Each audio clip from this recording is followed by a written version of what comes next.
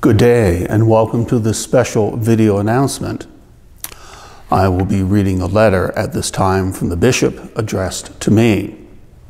From the Most Reverend David Edwards, Archbishop of Fredericton, to the Reverend Canon Dr. Ross Hebb. Dear Ross, it is with regret that I accept your notice of resignation from the parish of St. Peter's as of June the 30th, 2022, in order to retire from full-time ministry. I acknowledge that your final service will be the last Sunday in May.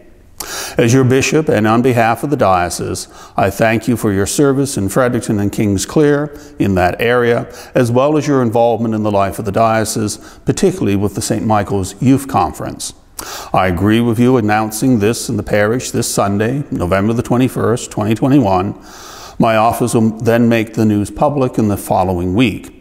May God bless you and Linda during this time of transition. Yours in Christ, David, Archbishop of Fredericton.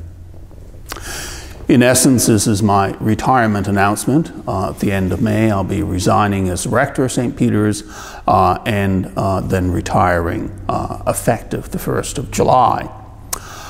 These video messages or sermons on Sunday mornings will continue until the end of May with my last Sunday, and then they will cease uh, from that point on.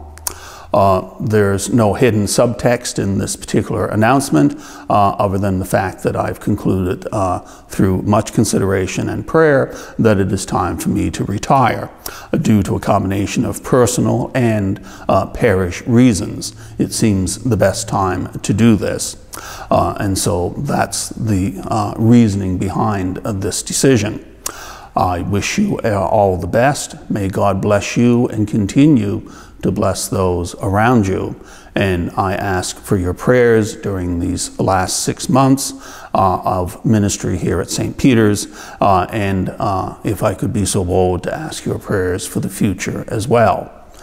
May God bless you and me as the time goes forward. Thank you and God bless.